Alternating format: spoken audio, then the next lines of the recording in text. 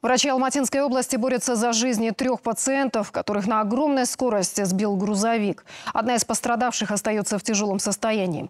Трагедия произошла в субботу вечером. Многотонная машина протаранила остановку с людьми. Погибли два человека. Известно, что за рулем находился пьяный водитель. Как раз в момент столкновения он пытался скрыться от полицейских, но не справился с управлением. Корреспондент КТК Бахытгуля Укасова работала на месте ЧП и знает все подробности.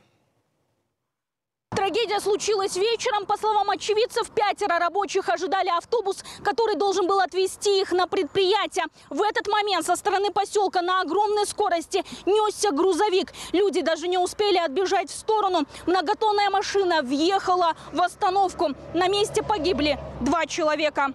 Жуткие кадры с места ДТП сейчас изучают правоохранители. Страшная авария произошла в поселке Байсерке. Известно, что полицейские заметили подозрительную машину. 49-летний водитель нагло проигнорировал патрульных и попытался скрыться. Но в какой-то момент не справился с управлением и многотонная машина на огромной скорости врезалась в остановку.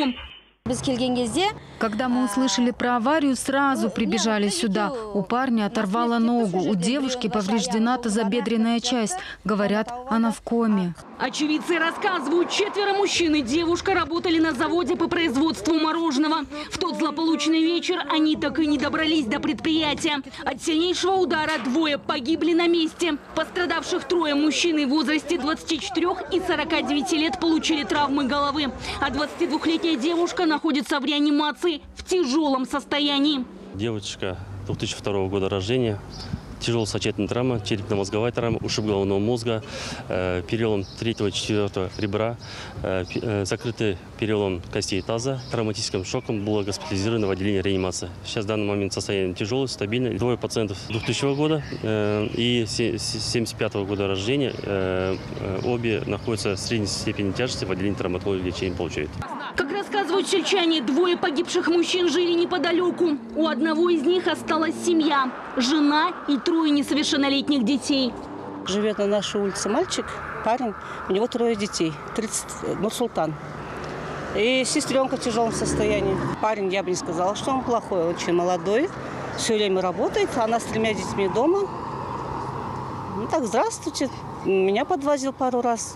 Свидетели смертельной аварии уверяют, трагедии можно было избежать. Как говорят местные, в Байсерке нет уличного освещения и светофоров. И в ночное время водители не видят пешеходов. Эта дорога не освещается. Здесь наши дети выходят на остановку, на развозку. Люди выходят на развозку. Машины даже не скидывают скорость, хотя здесь есть и пешеходка, и знак.